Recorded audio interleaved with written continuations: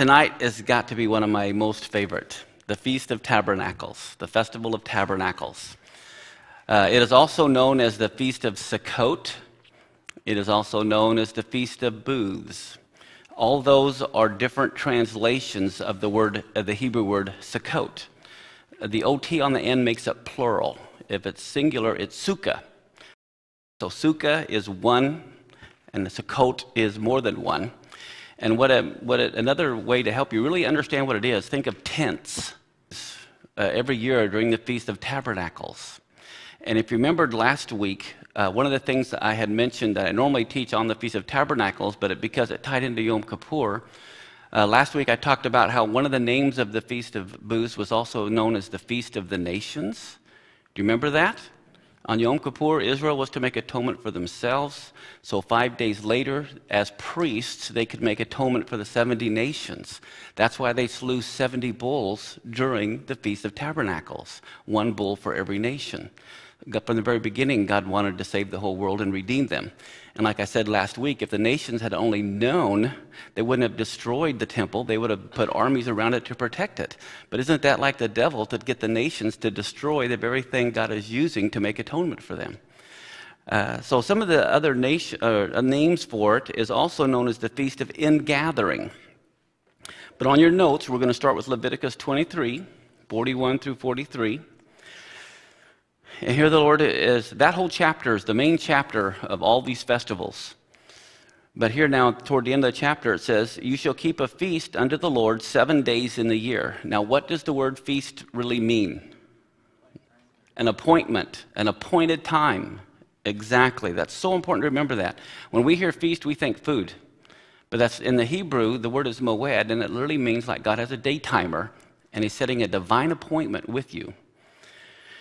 And then it says, It will be a statute forever in your generations. You shall celebrate it in the seventh month. Now, the number seven is very significant. And how many days were they to keep it? Seven days. So we have a seven day feast in the seventh month. And it says, You shall dwell, everyone say this with me dwell in booths.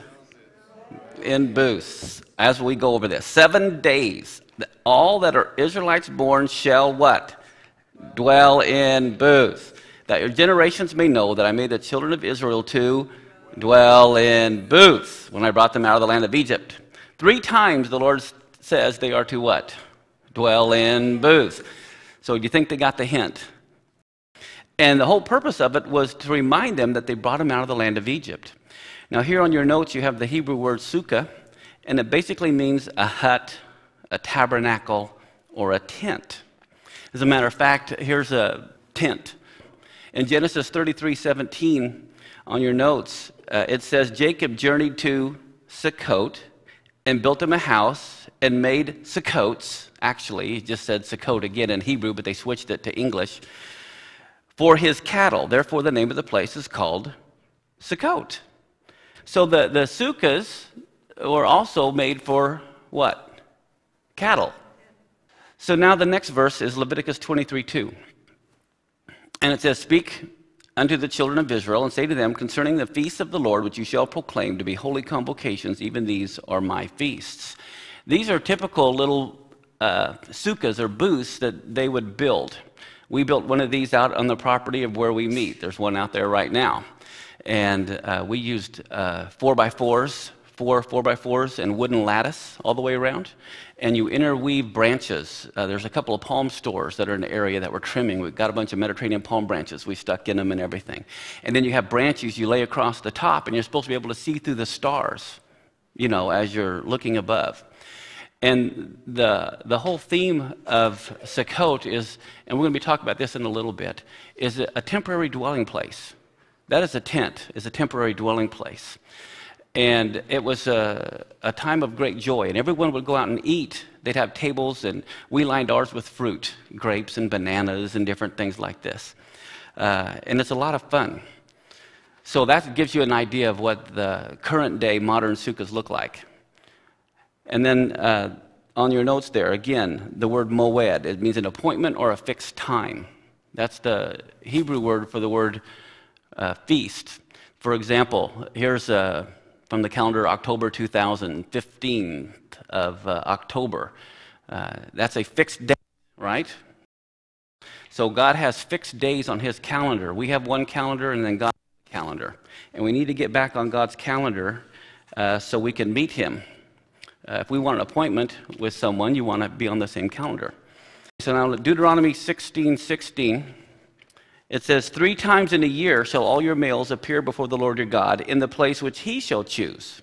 Okay, very important. In the feast of unleavened bread, which is also called matzah, also in uh, the feast of Shavuot or weeks, and in the feast of Sukkot or tabernacles, and that's Deuteronomy 16 16. So, how many times a year do they all have to be in Jerusalem?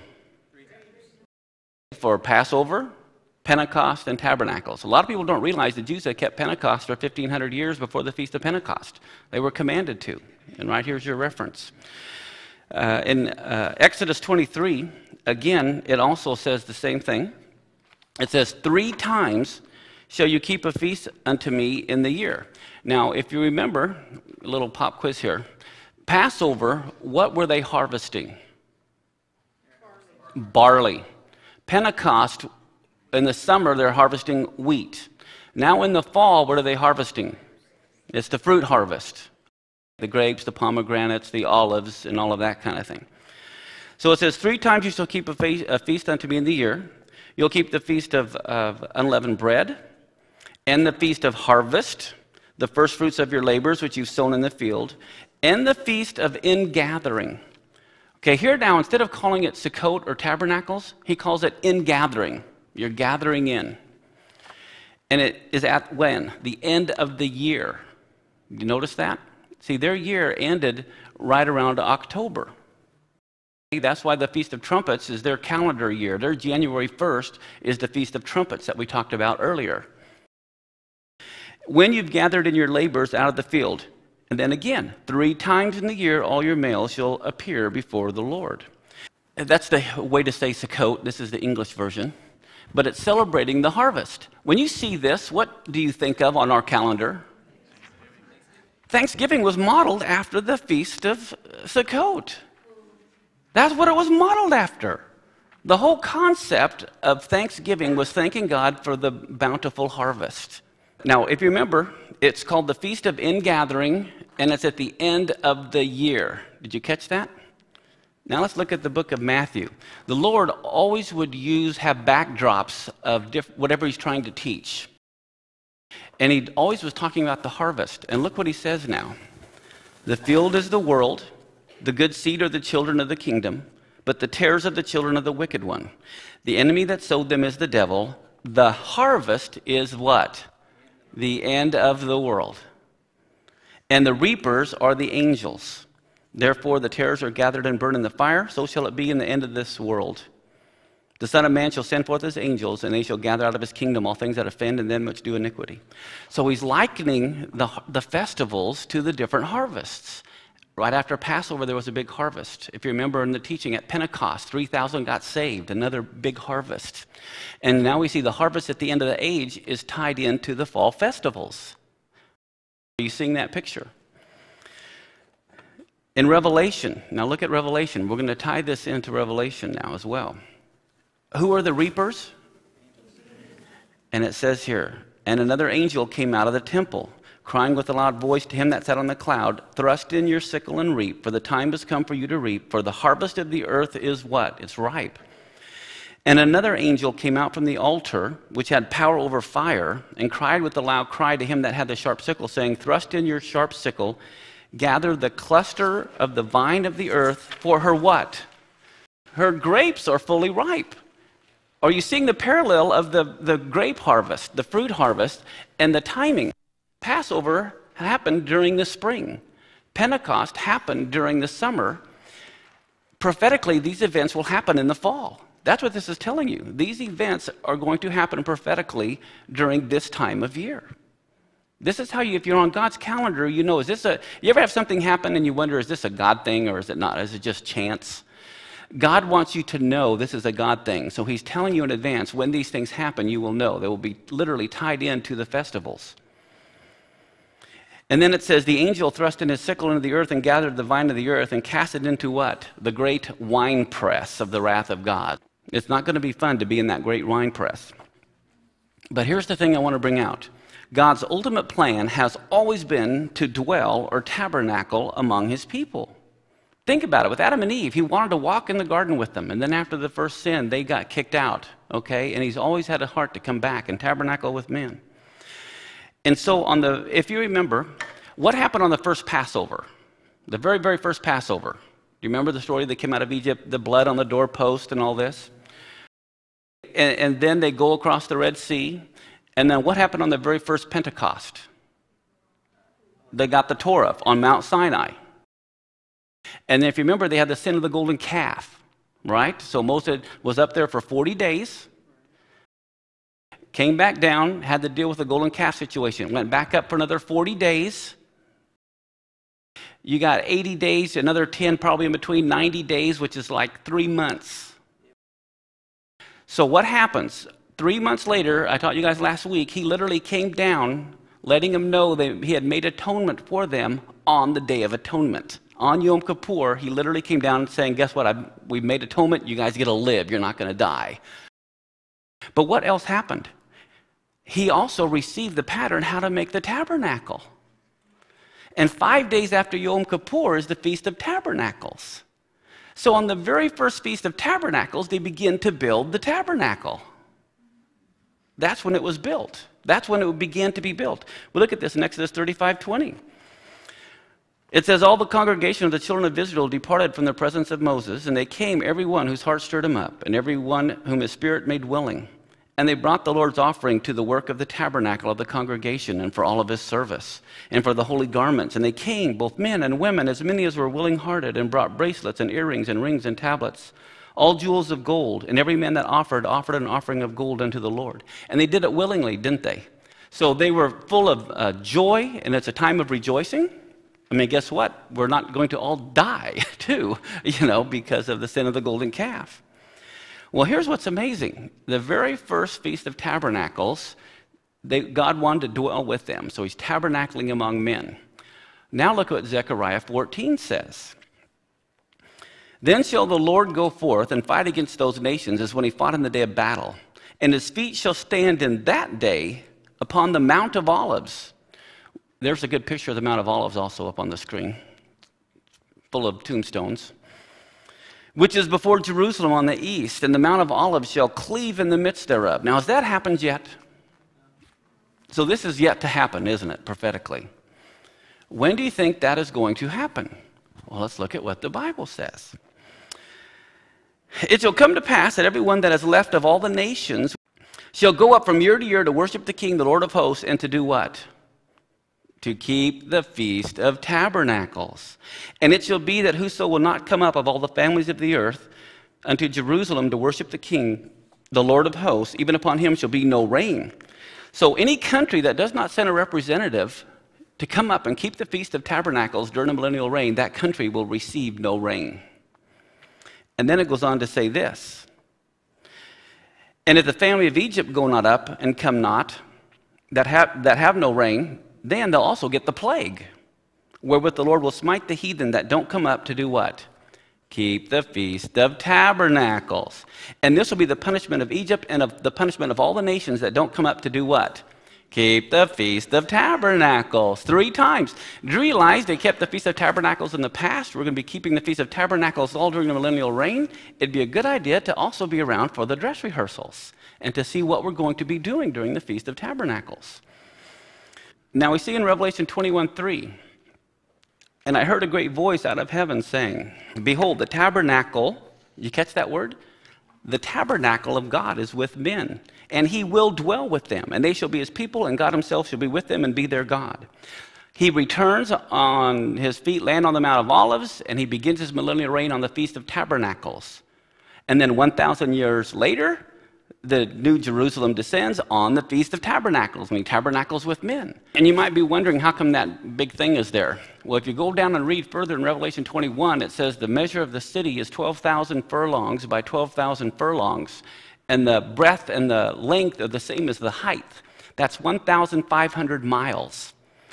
So the New Jerusalem is going to be like from here to Kansas, square, and then 1,500 miles up in the air. That's what it says in Revelation. Go back and take a look. But the whole concept, like I was saying earlier, the concept of the Feast of Tabernacles is for us to realize that this earth and our bodies are only temporary dwelling places. And how many days did they keep the feast? And how many year days with the Lord is as a year? A thousand years is one day. And 7,000 years, God is saying He has limited mankind to 7,000 years. This earth is temporary. Then you're going to get the new heavens and the new earth. It's all in the plan of God. This whole, this, in Isaiah 51 6, let's just look at the next verse. It says, Lift up your eyes to the heavens and look upon the earth beneath.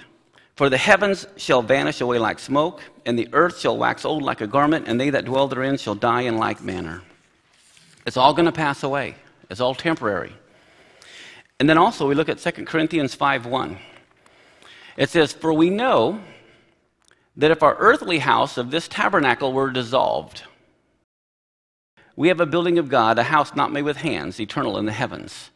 And that's exactly what you see in this picture. This, this body is temporary, but God has another house for us, eternal in the heavens. So the whole concept of the Feast of Tabernacles is for us to realize this is just temporary.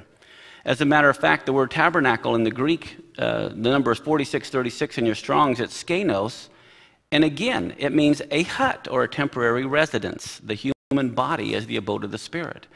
So, do you see the, the similarities between the Feast of Tabernacles and this body being a tabernacle, a temporary dwelling place?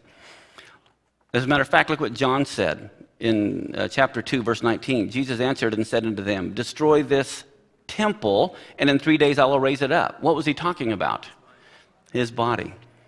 As a matter of fact, look what 2 Peter 1, verse 13 and 14. Peter says this Yea, I think it meet, as long as I am in this what? Tabernacle, to stir you up by putting you in remembrance, knowing that shortly I must put off this my what? Tabernacle, even as the Lord Jesus Christ has showed me. He realized that this tabernacle he's going to have to put away, but it's just temporary, correct? Now, here's what's very interesting. I'm going to show you something very exciting here that you may not have ever seen before or thought of in the scriptures until you understand this teaching. Look who's saying this in 2 Peter 1:16. Peter says, "We have not followed cunningly devised fables when we made known unto you the power and coming of our Lord Jesus Christ, but were eyewitnesses of his majesty." When was he eyewitnesses of that event? When did he see the coming and power of the Lord? The transfiguration. And do you know where that happened? Uh, Mount Tabor. Tabor, T A B O R. And now let's look at Mark 9. Now look at this. It says, The Lord is speaking, and he said to them, Verily I say unto you that there be some of them that standing here which shall not taste of death till they have seen the kingdom of God, what? Come with power. And then it says, After six days, Jesus took with him Peter, James, and John and led them up to a high mountain apart by themselves, and he was transfigured before them. And Peter answered, Now, remember the little huts that they built? And remember when I just showed you in Zechariah, the Lord is coming back around the feast of what? Tabernacles. And Peter just saw the kingdom of God come with power. Peter answered and said, Jesus, Master, it's good for us to be here. Let us build three sukkahs. Let's build three tabernacles, one for you and Moses and Elijah. He saw it was at the Feast of Tabernacles. And he said, Let's build three tabernacles. That's right. That event, he saw the kingdom of God was coming on the Feast of Tabernacles. And he says, Okay, let's build three sukkahs right now. That's when they said tabernacles, this is what he was thinking of. Now, Leviticus 23. It's here also in the 15th day of the seventh month, when you've gathered in the fruit you shall keep a feast unto the Lord seven days. The first day shall be a Sabbath, so even if it fell on a Tuesday or a Wednesday, it would be a Sabbath. The first day was to be a Sabbath, and the eighth day was to be a Sabbath. And isn't that interesting? But seven days long, how can you have an eighth day? Did any of you catch that? Well, it's a very important eighth day. We'll talk about that later. It's actually a separate feast, but it's hooked onto it. Just like Passover is separate from a seven day feast of unleavened bread, Passover is one day, hooked onto a seven day feast of unleavened bread. They're like bookends Passover and the eighth day of Sukkot. You have a seven day feast followed at the end by a one day feast, but they're hooked together, and you're going to see why in a minute. But this is what it says it says, You shall take for yourselves on the first day the boughs of goodly trees, branches of palm trees, the boughs of thick trees, and willows of the brook, and you shall what? Rejoice before the Lord your God seven days. You're commanded to rejoice. As of sunset last night for the next seven days, if you're a child of God, there is to be no whiny whinies, no sour pusses, no sour grapes, for the next seven days, all of us, uh, just like you know, a little kid, the parents say, you know, you know, they're pouting. You smile, and they kind of have a little slight smile, you know, and you better smile. They kind of finally they start grinning, you know. Well, that's what God is telling to us. These next seven days, you smile for seven days. You have to be happy. You have to rejoice. It's just the first day and the eighth day. I want to speak to you a moment about the symbolism of the four species. I had them flown in from Israel. We have the palm branch, the willow, the myrtle, and this is an etrog. And as you see in the pictures, uh, all over in Jerusalem, they were having these. As a matter of fact, during the Lord's time, this is what they were having and waving. And there's a funny, very funny story historically that was written over 2,000 years ago. One of the high priests, like I told you last week, many of the high priests were very wicked. They were appointed by Herod, they got that position through bribery and treachery. And even before Christ was born, there is a story in the Talmud where one of the high priests, he did not like the water libation ceremony that I'm going to be telling you about a little bit later. And like I said, what Josephus recorded two and a half million Jews would be at the festivals for these feasts. Two and a half million people. And they're all having etrogs and lulavs, is what this is called. And they're rejoicing. And this high priest, instead of pouring the water upon the altar, he dumped it on the ground. All of a sudden, about 10,000 etrogs are being hurled at the high priest, just beating him to a pulp. It caused a huge commotion. The Roman soldiers come swarming in the temple. Uh, thousands of Jews were killed in the temple. But it was all because of this one high priest not following along. And then they started throwing these at the Roman soldiers and at the high priest, and quite a riot broke out. But I want to tell you about this a little bit. I have here on the notes uh, the etrog, uh, as far as from a messianic perspective, symbolizes the Lord's beauty. Uh, the lulav, which is another name for the palm branch, if you look in Psalms 92:12, it talks about the righteous shall be as a palm tree, and so it speaks of righteousness. Uh, his righteousness is power to save. Uh, the myrtle is represents praise and rejoicing. That's here, and then the willow it represents his humility as the suffering servant. Now, what I have here, this is, I didn't make copies of this for any of you. I wasn't sure if you'd wanted it, but this talks about the four species and the blessing that's supposed to be done over it.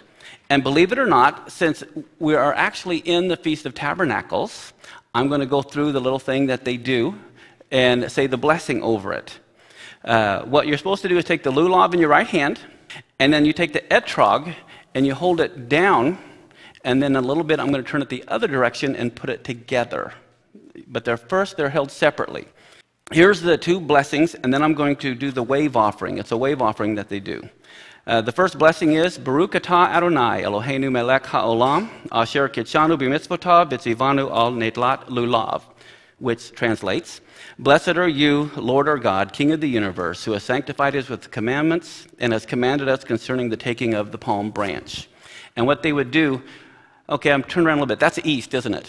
After the blessing, they turn it over and they hold them together and they wave them three times facing the east, like this. And then they go to the next direction and the next direction, and then they turn back around, and then they wave it up, and then they wave it down. And the purpose of this is to show how God is king of the entire universe the north, the south, the east, the west, the heavens above and down. But they would all be rejoicing. In Jerusalem and different places around, uh, many people have those and they just uh, rejoice. Now, here's the other thing. Are you seeing some key, thing, key events happening on these feasts? Do you see why they're appointed times? On the Feast of Tabernacles, that's when the tabernacle began to be built. On uh, the Feast of Tabernacles, you see, is when the Lord will begin his millennial reign. Let's look at and see if there's any other key events that may have happened as well on the Feast of Tabernacles. This is Solomon's temple. Many of you have seen, um, you know, little things of Herod's temple models, but this was Solomon's temple.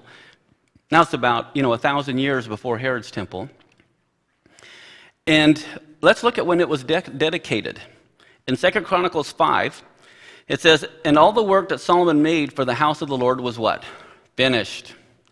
And all the men of Israel gathered themselves to the king in the feast that's in the what? Seventh month. And it happened, and look at what happened, it says. As the priests came out of the holy place, for all the priests present were sanctified and did not wait by division, listen to how they rejoiced. Remember, they were commanded to rejoice? It says, the Levitical singers, all of them, of Asaph, of Heman, of Jeduthun, with their sons and their brothers, they were all clothed in white linen. They had cymbals and harps and lyres, and they stood at the east end of the altar. And with them were 120 priests sounding with trumpets.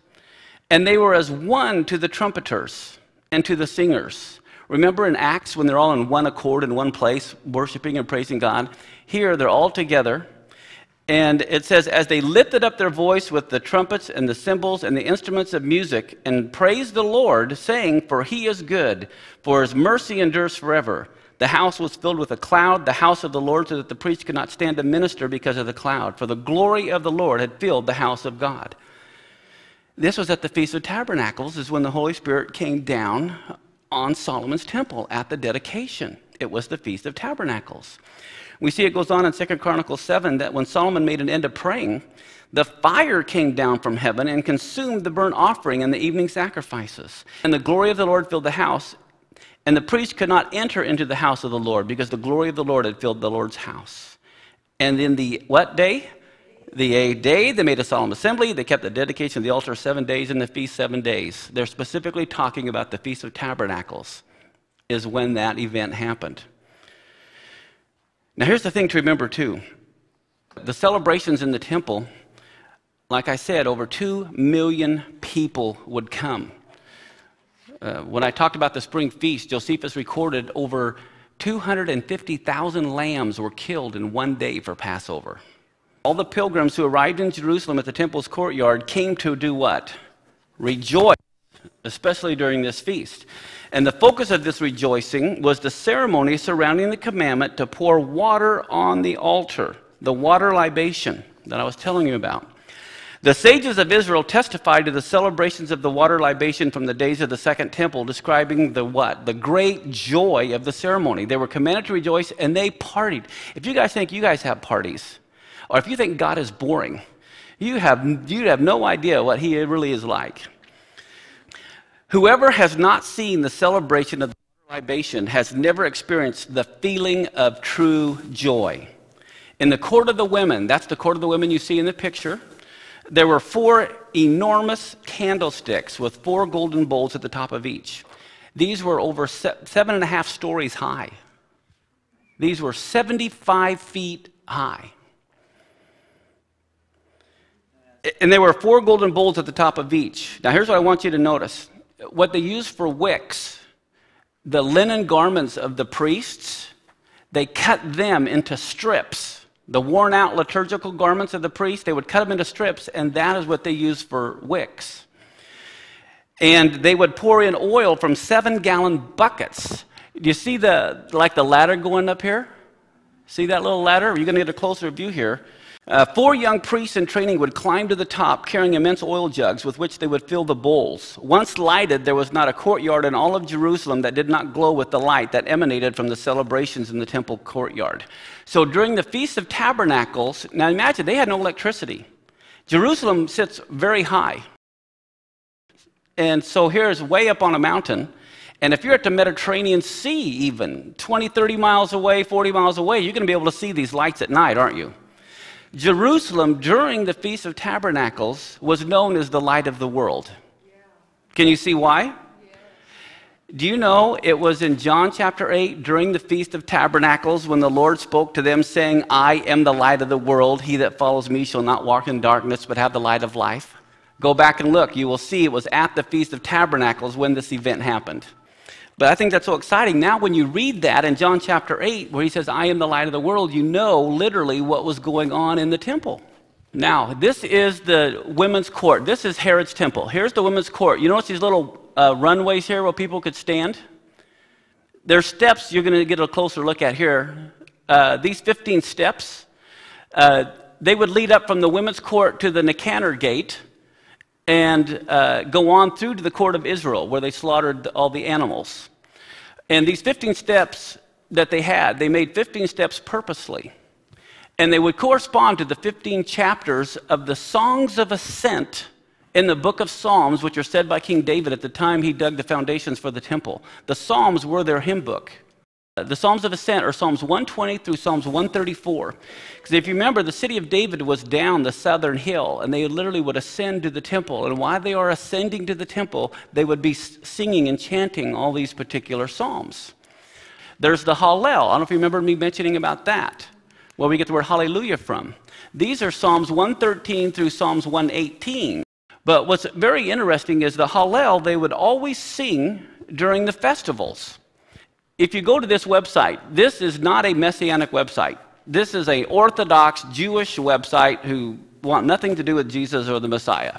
But I want you to see what the Orthodox Jews believe about these particular Psalms. And there's a lot of other good stuff on there. These chapters are expressions of joy and faith in God and of gratitude for salvation from our enemies. They were incorporated into the book of Psalms by King David, and they were singled out for inclusion in Hallel because they contain the following fundamental themes of the faith of Judaism. Okay, now I want you to notice what it says here. The Exodus, you're going to see that's very significant. The giving of the Torah by God at Sinai. The future resurrection of the dead and the coming of the Messiah. So they believe Psalms 113 through Psalms 118 speak about the coming of the Messiah. So if you remember, they would sing Psalms 118 at the festivals. Then, as the people sang, the men would dance before them while juggling flaming torches. You thought the Puyallup Fair was fun. You should have been here for this. The Levites, standing on the 15 steps that ascend from the women's court to the court of Israel, played on lyres, harps, trumpets, and many other instruments. So they're just a huge, you know, wonderful time. Well, you see, there'd be two priests they would be blowing silver trumpets. They stood at the top of the stairs on either side of the entrance to the great gate of the court. All this was done to honor the commandment of the water libation. And this is based on the Mishnah.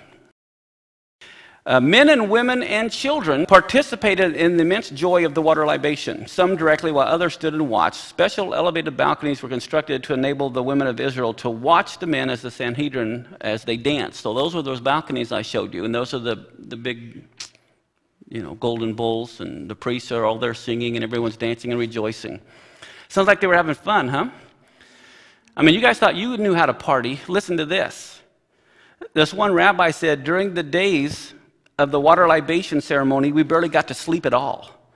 The first hour of the day saw us attending to the daily sacrifices. Following this, we were engaged in prayer. Afterwards, the additional offering. Then we ate, and it already became time to attend to the afternoon service. And this was followed by the celebration of the festival of the water libation, which lasted the entire night. And then we would begin again. So these people knew how to party during this festival. I want you to really get the idea of rejoicing. Are you picking that up? And what a fun time this is. Well, I want to talk to you for a minute about the daily ceremony. The priests were divided into three groups. In Chronicles, we're going to look at this verse in a little bit. David divided the priesthood into 24 divisions. And 24 divided by 3 is what? 8.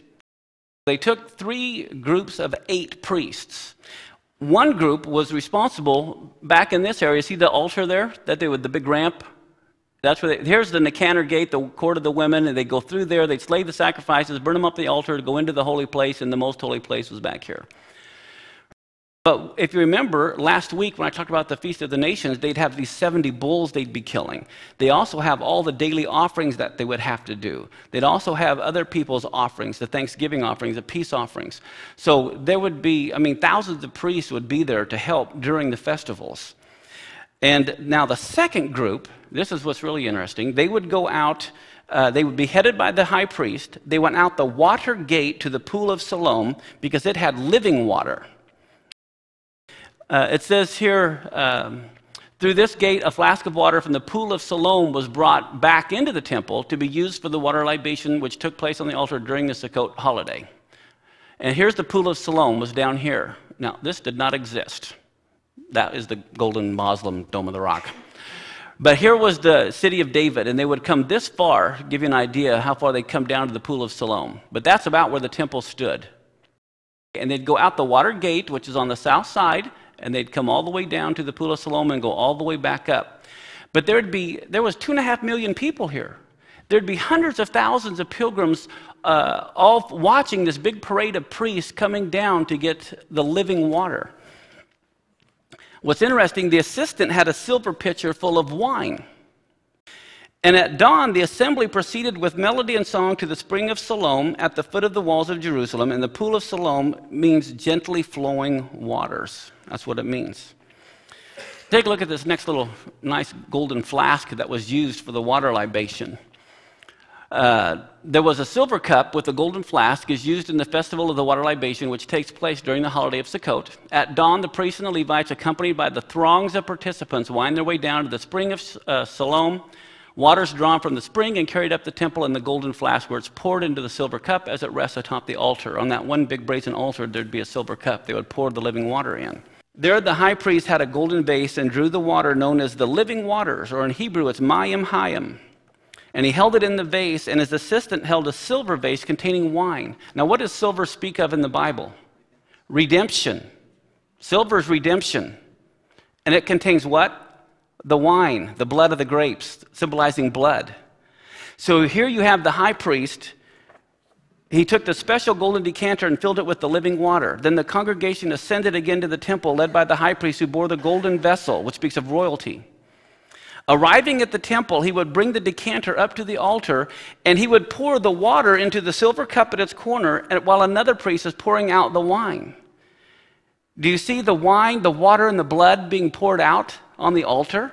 And Yeshua, what poured out of him? The water and the blood. And so, here, right at the altar of the sacrifice, you have the water and the blood that's being poured out over the sacrifice. And another priest who poured out the wine from another decanter into the cup at the opposite corner. And this ceremony is connected to the rainfall of the coming year, and it was accompanied by yearning and prayers for blessing on the earth and its produce. Because what happens if you don't get rain? Your crops are destroyed. They did not have Safeway and Albertsons back then. So they had to have rain. And so this is the time of year, they just ended the summer drought, basically. They've reaped their harvest, and now they're praying for the winter rains so that they'll have a good spring uh, harvest. This is, and remember the, the Hallel spoke of the Exodus, they said?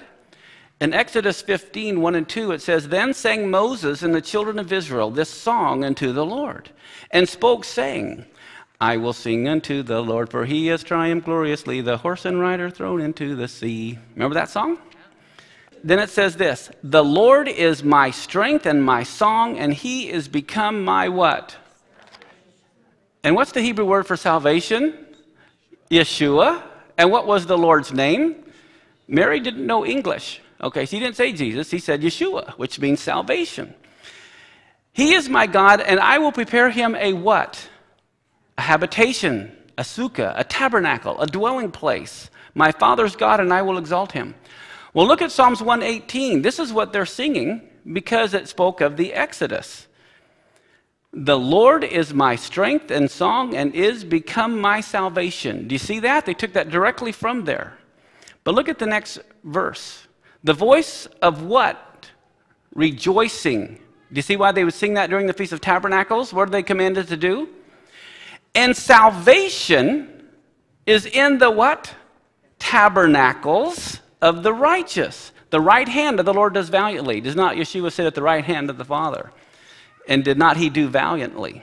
So here you see rejoicing and salvation in the Feast of Tabernacles. Do you see all this all tied together? It's not only Exodus, but it's also Tabernacles. And it also speaks of the coming of the Messiah at the Feast of Tabernacles. The seventh day, the last day of the feast, they would be singing Isaiah 12, 2 and 3.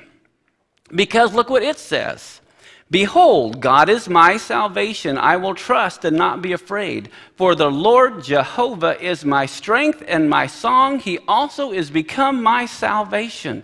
Now look at these next words here out of Isaiah. Therefore, with joy shall you draw water out of the wells of Yeshua. Now go and read John chapter 7 in the Gospels, it says, Now the Jews' feast of what? Was at hand. About the midst of the feast, Jesus went up to the temple and taught. The last day, that great day of the feast, Jesus stood up, cried, saying, They had just got done singing. With joy shall you draw waters from the wells of salvation. And it was at that moment that the Lord interrupted and said, Yes, he that believes on me. As the scripture says, out of his belly shall flow rivers of living water. They just got done saying, With joy shall you draw waters from the wells of Yeshua. And Yeshua stood up and said, Yes, he who believes on me, out of your belly shall flow rivers of living water. So now, when you read John chapter 7, you know what events were going on in the tabernacle as he cried that out. Not about you, but that's kind of exciting. So, one group is slaying all the sacrifices. The other group had gone down to the pool of Siloam and back up. What was the third group doing? The third group went out the eastern gate, which is also known as the Beautiful Gate.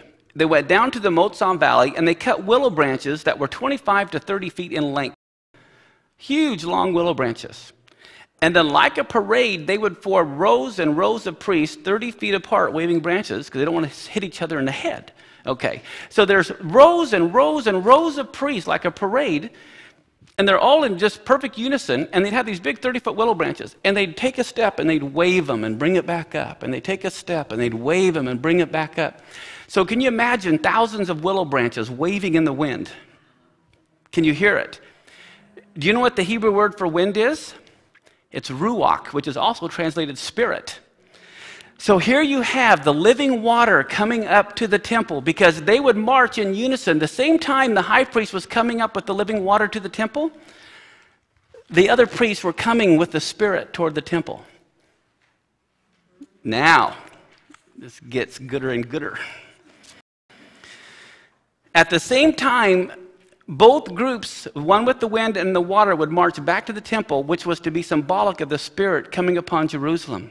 When they arrived at the gates, there was a priest who was playing a flute, and the flute is pierced. So the priest, who was known as the pierced one, was calling for the wind and the water to enter the temple.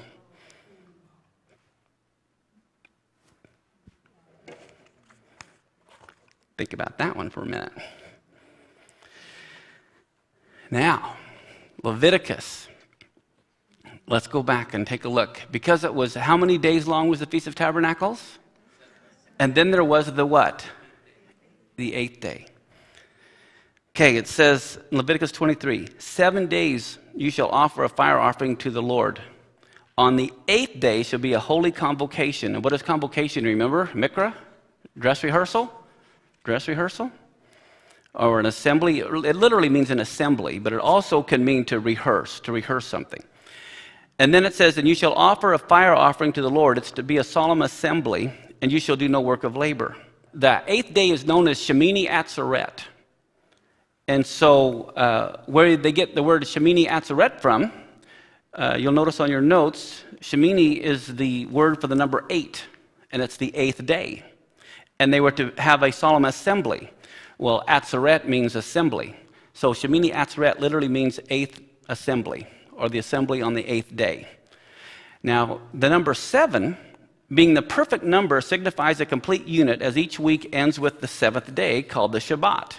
Literally, it's like it comes from the number seven Sheva in Shabbat. Now, the eighth day becomes also the first day, right?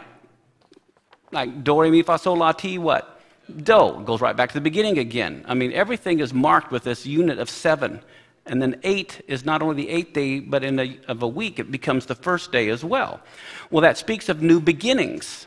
You're starting over again. And remember, I told you about the 7,000 year plan of God, and then you have the eighth day, and it's the new heavens and the new earth and new beginnings.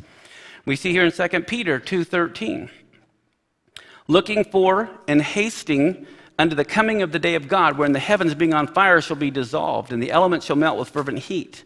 Nevertheless, we, according to his promise, look for new heavens and a new earth wherein dwells righteousness. It was known as uh, Simchat Torah. That's a, the eighth day, as well as being Shemini Atzeret, was also known as Simchat Torah, which literally means rejoicing. It's the same theme rejoicing in the Word of God. Shouldn't we rejoice that we have the Word of God today? Well, look at what it says in Deuteronomy 31. It says, Moses commanded them, saying, At the end of every seven years. Now remember, the Feast of Tabernacles is seven days long, and it's in the seventh month. And then at the end of every seven years, it says, in the solemnity of the year of release, in the feast of what? Tabernacle. So again, this is also tied to the Feast of Tabernacles. When all Israel is come to appear before the Lord your God in the place which he shall choose. Now, if remember, only the males 20 years old and upward had to come to the Feast of Tabernacles. Remember reading that? But in the seventh year, everybody had to come, not just the men. It says, And you shall read this Torah. The word law is a horrible English translation. The Hebrew word is Torah, and the real translation is teaching. It literally means to teach. In other words, they shall read this teaching before all of Israel in their hearing. And though, so it says, Gather the people together, men and women, children, your stranger that is within your gates, that they may hear, that they may learn and fear the Lord your God and observe to do all the words of this Torah. And then look what Isaiah 2 says, prophesying about these last days, and in Zechariah 14, during the Feast of Tabernacles, when the Lord comes back. See, I believe that will happen in the year of Jubilee. And seven times seven is what? 49. And so at the end of that 49th year, I believe it'll be right then, the Lord returns to begin the year of Jubilee. And so what is he going to do? It says, It'll come to pass in the last days that the mountain of the Lord's house shall be established in the top of the mountains, and he will be exalted above the hills. And all nations shall flow to it. Remember, tabernacles, the feast of nations? And many people shall go and say, Come ye, let us go up to the mountain of the Lord, to the house of the God of Jacob. And who will teach us? The Messiah will teach us his ways, and we will walk in his paths, for out of Jerusalem or Zion shall go forth what? The Torah and the word of the Lord from Jerusalem. The Lord is going to be teaching us Genesis, Exodus, Leviticus, Numbers, and Deuteronomy from his perspective when he returns because it's so misused and misapplied.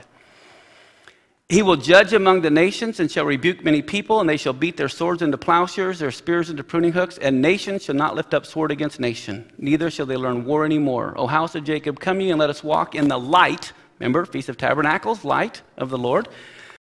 Micah says the same thing. He prophesies. In the last days it'll come to pass. The mountain of the house of the Lord will be established in the top of the mountains, and it will come be exalted above the hills. The people shall flow to it, and many nations shall come and say, Come, let us go up to the mountain of the Lord, to the house of the God of Jacob. He will teach us his ways. We will walk in his paths, for the Torah will go out of Zion, and the word of the Lord from Jerusalem. We're all going to be sitting at Messiah's feet. When he returns to the Feast of Tabernacles, all of the saints are going to gather around and sit at his feet, and he's going to teach us his ways. Now look at Nehemiah.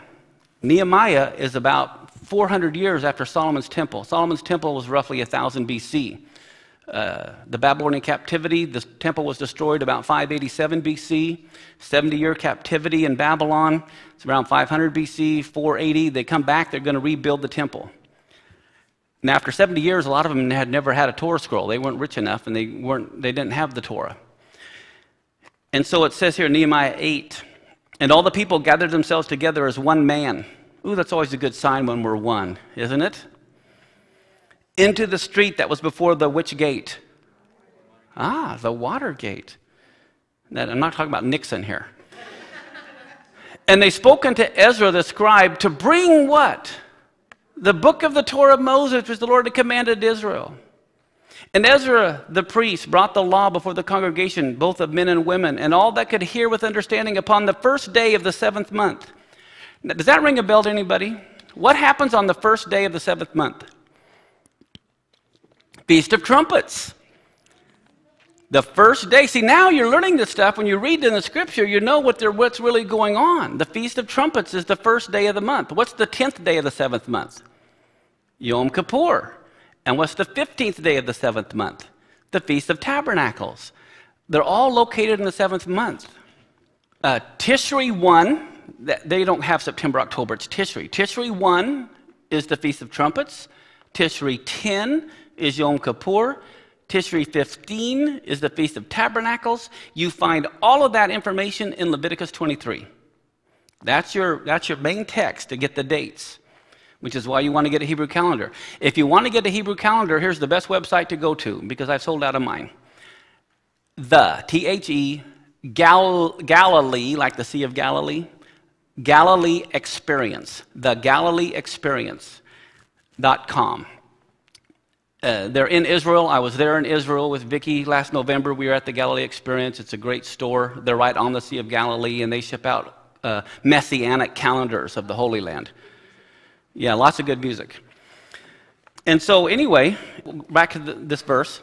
And he read therein before the street that was before the water gate from the morning till midday, before the men, the women, and those that could understand. And the ears of all the people were attentive to the book of the law. So they read in the book of the law of God distinctly, giving it the sense and caused them to understand the reading. What good does it do if you don't understand what you're reading? And now, how the Feast of Trumpets, when I spoke on it, how many days long is it?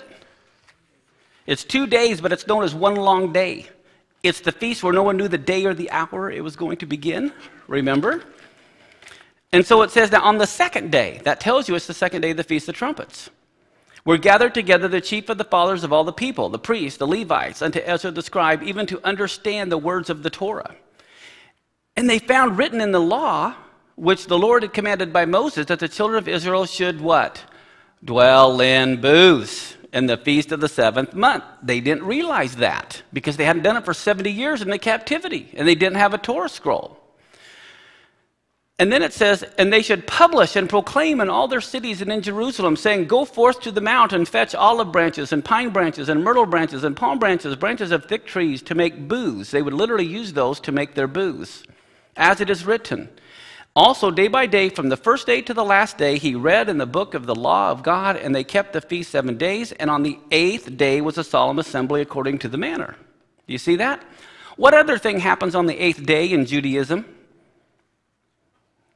Circumcision? That's right. It, there's some very important tie in you're going to see here. Is God a God of chaos or is he a God of order? And when he does things, he does things for a reason. I think it's Isaiah 55. He says, My word will not return void until it accomplishes that which I sent it. So think about this. There's something to do with this seven day feast. The feast is what? Seven days? Then there's the eighth day. And circumcision is on the eighth day. Sukkot was given to us by God to instruct us what life would be like during the Messianic age when the knowledge of the Messiah and the Spirit of God will cover the earth as the waters cover the sea. Shemini Atzeret and Simchat Torah was to be a day of rejoicing in the Torah. The seven day feast of unleavened bread is linked to the one day feast of Pentecost also, at the giving of the Torah. Then you have the seven day feast of tabernacles linked by the one day feast of rejoicing in the Torah. So they were to rejoice in the Torah. And in Deuteronomy 33, what do we find? He said, The Lord came from Sinai and rose up from Seir unto them. He shined forth from Mount Paran, and he came with ten thousands of saints. From his right hand went a fiery law for them. Yea, he loved the people. All his saints are in your hand. And look what it says here. They sat down at your feet. Everyone shall receive of your words.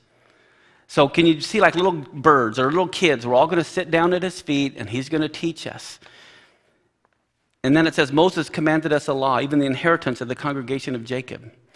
Now, the word Torah in the Strongs from 3384, so it comes from the word Yara, and it means to flow as water, to rain, to point out as if by aiming the finger to teach. So when you see Torah, I want you to think of what? Rain. And what are they praying for? Rain. And water is compared to the Torah. It descends from a high place to a low place. They both came from heaven. They both go to earth. They both bring blessing. They both bring life. You can see why the Torah is compared to water. And during Sukkot, they're praying for what? Water. And during Sukkot is when the Torah is going to be shared.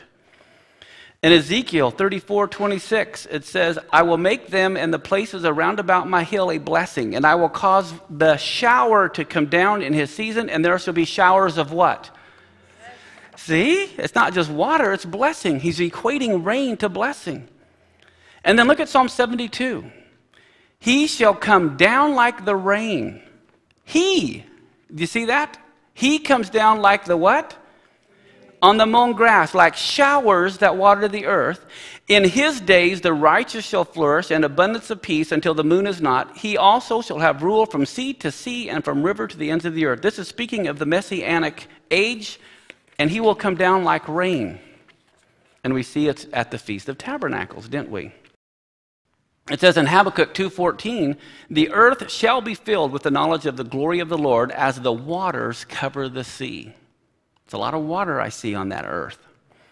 Hosea 6:3 says, Then shall we know, if we follow on to know the Lord. His going forth is prepared as the morning, and he shall come to us as what? As the rain, as the latter and the former rain into the earth. Joel 2:3, Be glad, therefore, sons of Zion, and do what? Rejoice in the Lord your God. He has given you the former rain according to righteousness. He will cause the rain to come down for you, the former rain and the latter rain in the first month. Here's the, the Messiah, and you see a Torah scroll and the Hebrew letters falling as rain because Yeshua is the Torah. So you can just see him, the words of the Torah. He's the living Torah falling down, raining upon heaven. Deuteronomy 32 2. My doctrine shall drop as the rain, my speech shall distill as the dew, as the small rain upon the tender herb, as the showers upon the grass. How many of you know we want water? But do you want it like Hurricane Katrina? Or do you want it like the gentle falling on the herbs and on the small grass? That's how he comes. He doesn't come like the hurricane. He wants to come to us to teach us like that. Uh, uh, there's this one rabbi, he felt that the drops of water eventually boring through a rock intimated that the Torah would eventually even penetrate his hard heart. And he used to say that a Jew without Torah is like a fish without water. And that's how we need to feel about the Torah. All too often, we feel like the Torah has been done away with, it's discarded, that's old, we have new. We don't realize the Torah is still alive because God's word will not return void. Song of Solomon is the most misunderstood book in the entire Bible. It's not about what everyone thinks it's about, it's about the festivals. And I want you to watch this for a minute. First off, uh, chapter 2, verse 10 and 11. She is speaking about him, and she says, My beloved spoke, and this is what he said. And he's speaking, and he says, Get up. okay? Rise up, my love, my fair one, and come away. For lo, the winter is past. The what is over and gone? She didn't just sleep for one night. He says, The winter's past. He says, Girl, you went into hibernation. You slept all winter. You missed all the blessings. You've missed all the rain. You're in the church. You don't want to work the harvest. You want to just stay here and be blessed by me, but you don't want to go out and work for me in the fields. As a matter of fact, I mean, he has this most beautiful thing he says, you know, for the sound of the turtle dove is heard in the land. You know, he has this beautiful discourse. He's outside looking through the window, saying, Get up, honey, come on, let's go work. And look what she says My beloved is mine, and I am his. In other words, you belong to me first, and then I belong to you, Lord. It doesn't say I belong to him and he belongs to me. It's you belong to me first, Lord. I got Jesus in my pocket, and I'll pull him out when I need him. And then I belong to you. She goes, He feeds among the lilies. And then look what she says to him Until the day break and the shadows flee away, turn, my beloved, and be like a roe or a young hart upon the mountains of Bether. The word Bether there in Hebrew means separation. It's like the Cascades. She says, Why don't you go run and play on the other side of the Cascades and you come back when I call you? You go work the harvest. I'll let you know when I need you, is what she was saying. And so we see in chapter 3, verse 1, all of a sudden, by night on my bed I sought him. Isn't how we often seek the Lord? Only at night, on our bed, ready to fall asleep. Okay, Lord, how you doing? good night, you know. I can just see her reaching her hand, trying to see if he's there. By night, on my bed, I saw him. Where are you, honey? You didn't come home. And so she says, I sought him whom I so loved. I sought him, but I did not find him. And she says, Now I'm going to get up. She should have got up earlier, but she says, Now I'm going to get up. I'm going to go about the city in the streets and in the what ways? Broad is the way of destruction, the broad way. She says, I will seek him whom my soul loves. I sought him, but I did not find him. She professed a love for him, but she did not want to really work for him. It was just all emotions, no content. In Hosea 5 6, it says, They shall go with their flocks and with their herds to seek the Lord, but they shall not find him. He hath withdrawn himself from them. That's what happens.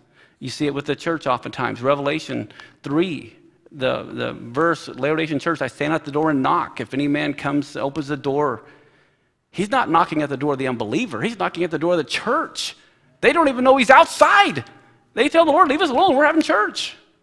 He's out there knocking, hey, anybody there? Come out here.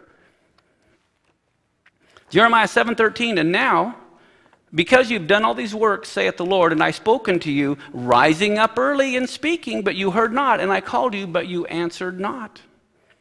Jeremiah 29:13 says, You shall seek me and find me when you search for me with what?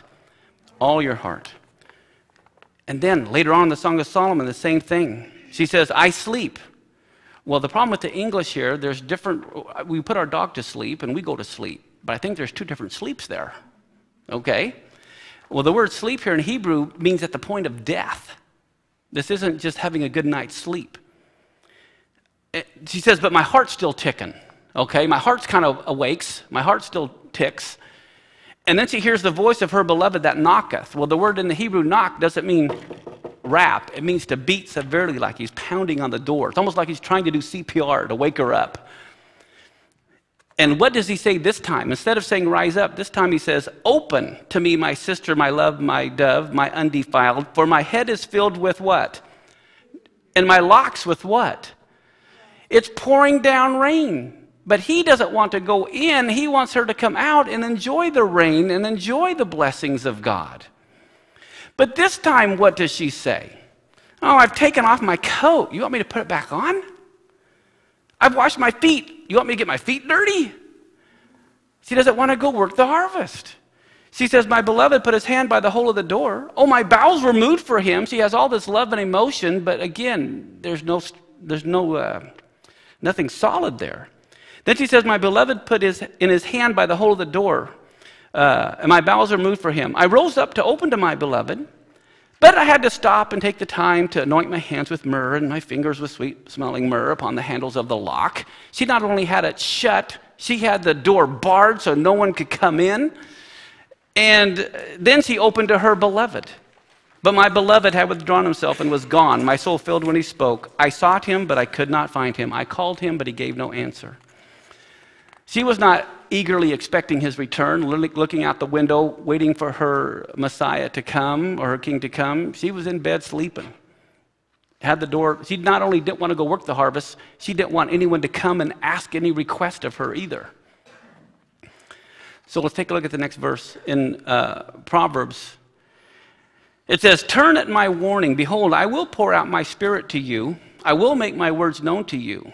Because I've called and you refused. I stretched out my hand and no one paid attention. But you've despised all my advice and would have none of my warning. I will also laugh at your trouble. I will mock when your fear comes. When your fear comes as a wasting away, and your ruin comes like a tempest. When trouble and pain come upon you, then you shall call upon me, and I will not answer. They shall seek me early, but they shall not find me. The point is, we need to open when He knocks. We need to be quick to respond to when the Lord is speaking to our hearts. Amen? Isaiah 55 says, Seek the Lord while he may be found, call you upon him while he is near. Look at Hosea 10:12. Sow yourselves in righteousness, reap in mercy, break up your fallow ground, for it is time to seek the Lord till he comes and rains what? Righteousness upon you. The, the rain speaks of blessings and righteousness, but we have to break up this fallow ground of our heart. Now, if you remember in John 7 37, the last day, the great day of the feast, when he stood up and he cried out, You know, if any man thirst, let him come to me and drink. Out of his belly shall flow rivers of living water. Remember that? We just read. Right after he said that, look what, the, what happens. Many of the people, therefore, when they heard this saying, said, Of a truth, this is the prophet. Then answered them the Pharisees, Are you deceived? Have any of the rulers or the Pharisees believed on him? But this people who don't know the law are cursed. These are the Pharisees speaking. But what does the Lord say about them? This is clear back in Jeremiah. The priests did not say, Where is the Lord? They didn't even know he was gone. just like at the Laodicean church. They that handle the Torah didn't even know me, he says.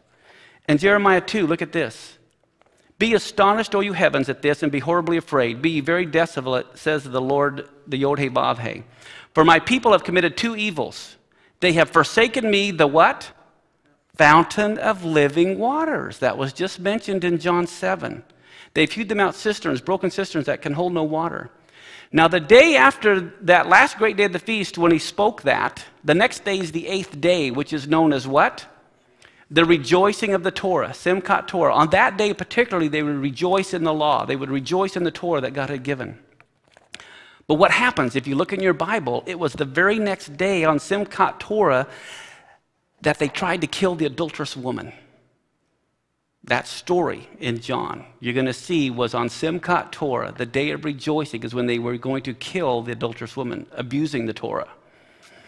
In John 8, what does it say? Look at this next verse. Here's how the day began.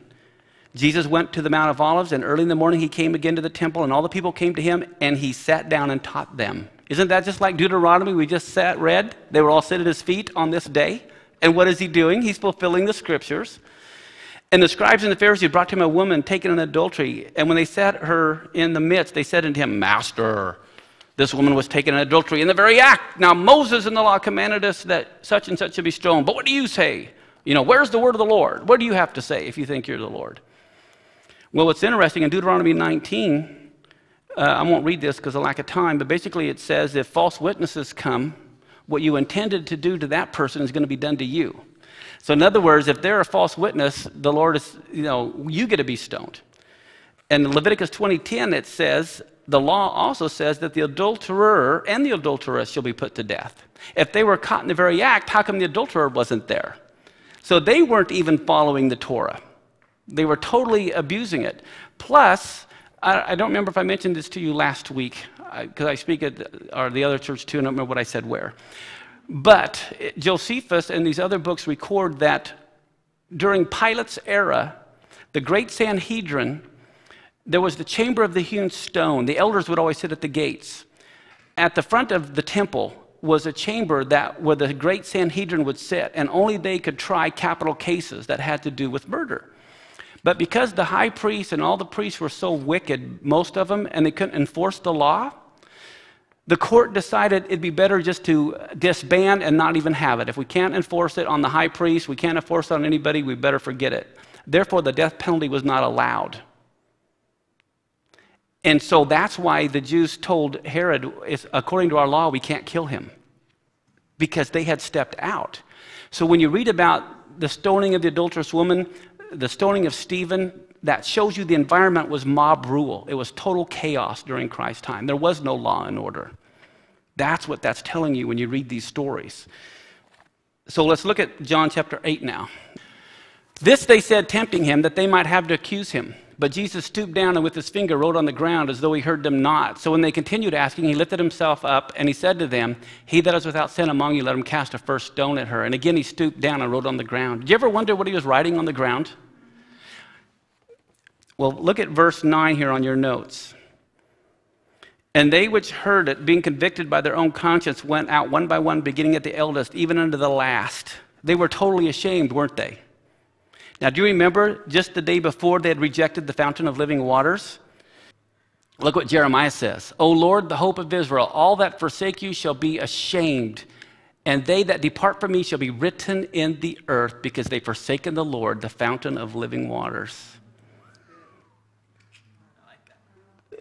Isn't that another one of those just really cool verses? And then what does it say? On your note, she says, Heal me, O Lord, and I shall be healed. Save me, and I shall be saved. That's what she was crying out. This verse exactly applies to the. Here he is, fulfilling Scripture over and over and over again. Hosea 8, 8 through 12. Israel is swallowed up. Now shall they be among the Gentiles as a vessel wherein is no pleasure. They've gone up to Assyria, wild ass alone by himself. Ephraim's hired lovers. Yea, though they've hired among the nations, now will I gather them, and they shall sorrow a little for the burden of the king of the princes. And then it says, Because Ephraim has made my altars to sin, altars shall be unto him a sin. I have written to him the great things of my Torah, but they were counted as a strange thing. We should not count Torah as something strange. Hosea 4 6 says, My people are destroyed for lack of knowledge. How many of you have heard that verse before? But how many of you have kept it in context? Look what it says. Because you've rejected knowledge, I will also reject you. That you should be no priest to me, seeing you have forgotten the Torah. That's what they have no knowledge of. It's not knowledge of the sciences or knowledge of the arts or knowledge of music, it's knowledge of Torah. That's why the people are perishing. Leviticus 23, again, say it with me. You shall what? Dwell in booths seven days. All that are Israelites born shall dwell in booths, that your generations may know I am the children of Israel to dwell in booths. There would literally be thousands of sukkahs dotting the hillside for miles around the city. Two and a half million people are in Israel. Thousands of sukkahs all around the city. And look at John 1:14. and the word was made flesh and what? Do you know what the word is there? It's to tabernacle. And the word dwelt there means to tent or encamp as God did in the tabernacle of old. Now, when did they begin to build the tabernacle? On the Feast of Tabernacles. And God is going to reside with man as they did in the tabernacle of old. Now let's take a look at Luke. We're going to finish up here pretty quick. Luke 1. There was in the days of Herod, the king of Judea, a certain priest named Zacharias. How many have heard of him? John the Baptist's daddy. Of the course of Abijah. Most people read that and they have no idea what it's saying. So I'm going to explain that to you here. It says his wife was of the daughters of Aaron, and her name was Elizabeth, or Elisheba, which is also Aaron's wife. The first high priest, his wife's name was Elisheba as well. And it says, It came to pass that while he did what? Executed the priest's office before God in the order of his course, according to the custom of the priest's office, his lot was to burn incense when he went into the temple of the Lord. What do you think that, when was that? What time of the year do you think that was? Have you ever thought about when that was that John the Baptist went in there? Y'all know the story. He came out, couldn't talk, and everyone knows the story, right? But have you ever thought about what time, what month of the year that happened? You're about to find out. Another one of those really cool things. If you notice in your Bible, it says that it was uh, 1 Chronicles 24. It says, Now these are the divisions of the sons of Aaron. The sons of Aaron, Nadab and Abihu, Eleazar and Ithamar, but Nadab and Abihu died before their father and had no children. Therefore, Eleazar and Ithamar did what? Executed the priest's office. There's the verse that ties in what we just read. And there was 24 courses, I told you. And the eighth course went to who? Abijah. That's the guy they were talking about in Luke. And these were the orderings of them in their service when they came to the house of the Lord according to their manner. And if you notice, they did it according to the manner. So let's look at this calendar here now. Passover is generally April, and that became the first of the month for them on their calendar. So we're going to pretend April 1 is Nisan 1. So there was they, the priest. How many weeks are in a year? 52. On the Jewish calendar, there's 51. They're slightly different than ours. Okay, that's why you have this rotation if there's 24 courses and they serve two weeks a year, that's how many weeks? 48. That would leave three weeks left. Well, during the three times a year they all had to come to Jerusalem, Passover, Pentecost, and Tabernacles, all the priests would minister, and that would cover the whole year, right? They would minister one week, and then they'd minister another week. So they had a long time in between. It's not like two weeks all at once. So here's going to be the first course. Here's the second course. Now, here's Passover, the 14th day of Nisan. So, this is everybody ministers. So, here's the third course. Here's the fourth, the fifth, the sixth, the seventh. Here's the eighth course. So, here's the week that the course of Abijah would have ministered. But you know what happens this week? It's Pentecost. So, all of them are ministering. So, Zechariah was ministering during the feast of Pentecost. That's the event that was going on. Let's look at Luke 1 10 and 11. Look at this next picture. It says, And the whole multitude of the people were praying without at the time of incense. And there appeared to him an angel of the Lord standing on the right side of the altar of incense. The word multitude in the Greek is, you ever heard of the term plethora? It means a whole bunch. Well, there's another good picture. Uh, Plethos literally means a large number, a throng. Why do you think there was this huge multitude there? They had to be there. They had to be there how many times a year? Passover, Pentecost, and Tabernacles. So when you understand this and you're reading this, the whole multitude, it was the Feast of Pentecost.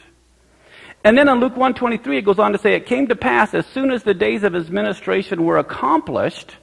Okay, he not only had to serve his week, but he had to serve Pentecost. So he was there for two whole weeks, right? He departed to his own house, and after those days, his wife Elizabeth conceived and hid herself five months. So now let's look at the calendar. Here you have uh, this week was Pentecost. He goes here, in this area here, he and Liz, Elizabeth and him, uh, she conceives.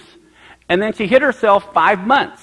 One, two, three, four, five. That puts, right here is about the fifth month. Everyone with me? Now let's look at Luke 1. In the sixth month, what's the sixth month now? That's the end of December. The angel Gabriel was sent from God to a city of Galilee named Nazareth. And the angel answered and said to her, The Holy Ghost shall come upon you, and the power of the highest shall overshadow you. Therefore, that holy thing shall be born of you, shall be called the Son of God. And behold, your cousin Elizabeth, she's also conceived a son in her old age, and this is what? The sixth month who was called barren. Now, it says Mary abode with her for three months. Why do you think she stayed there for three more months? What's six plus three? How many months do you have a baby? You think she probably stayed there until she had a baby? It's three more months, January, February. That puts John the Baptist being born right around Passover, doesn't it? So, Luke 2. And so it was, while they were there, the days were accomplished that she should be delivered. And she brought forth her firstborn son and wrapped him in swaddling clothes and laid him in a manger because there was no room in the inn. Now, think about it. Go back to the calendar for a second.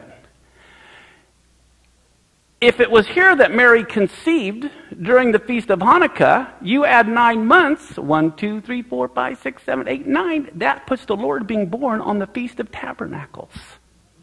He tabernacles among man. Light is come into the world. He was born on Sukkot. Now look at this. Why do you think there was no room in the inn? That's why there was no room in the inn. And they laid him in a manger. The word manger there is a crib to eat out of. Cattle are in sukkahs, and they eat out of cribs. They laid him in a manger. And look at this the swaddling clothes. It, the swaddling clothes, the word there means to wrap with strips. It was the priestly garments that they used for wicks during the Feast of Tabernacles. He was wrapped in priestly garments when he was born. They're wrapping him in the garments of the priests. Luke 2. There was in the same country shepherds abiding in the field, keeping watch over their flock by night. And lo, the angel of the Lord came upon them, and the glory of the Lord shone round about them, and they were sore afraid. And the angel said unto them, Fear not, for behold, I bring you tidings of what? What do they do during the Feast of Tabernacles? Which shall be to all people, for unto you is born what day? In the city of David a what? Which is Christ the Lord. Now, let's look at this next picture. Here's Israel in winter. Let's look at the next one. And the next one.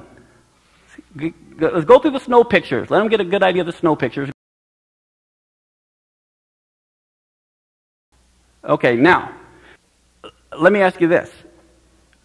Do you think the shepherds are going to be out in the mountainous snow in the middle of winter?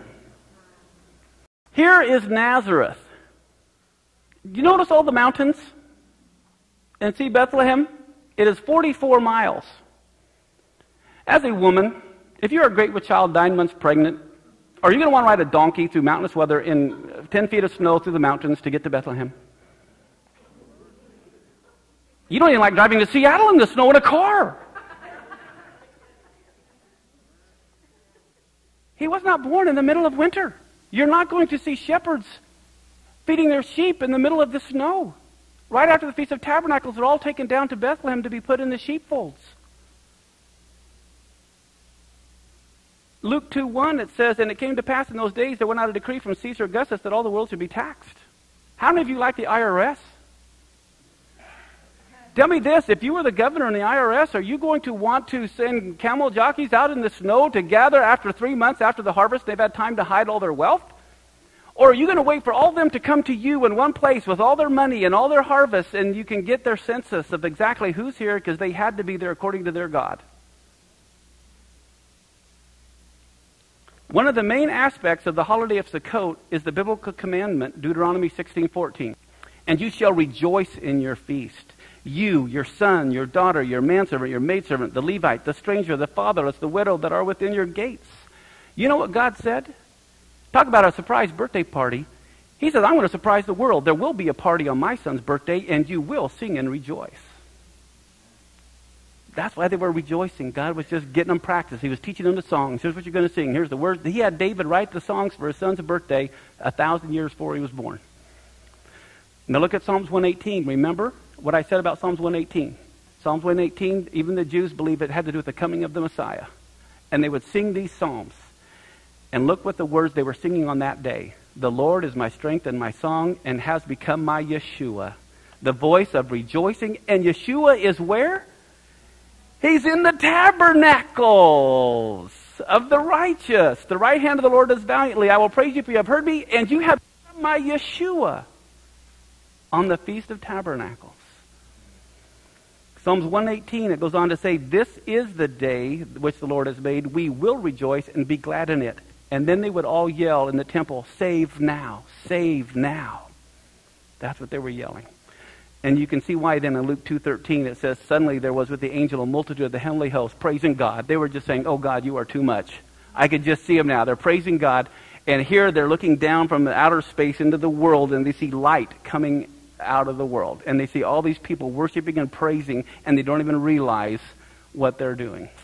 Well, what does it say in Luke 2.21?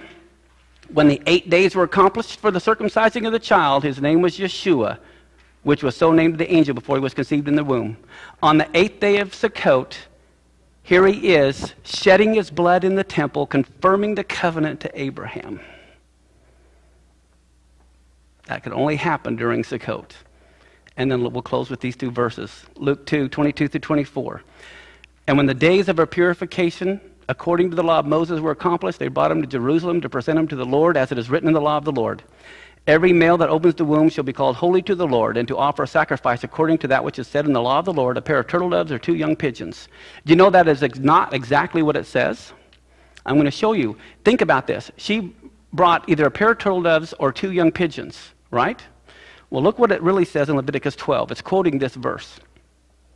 When the days of her purifying are fulfilled, for son or for daughter, she shall bring a lamb of the first year. But what happens if they can't afford a lamb?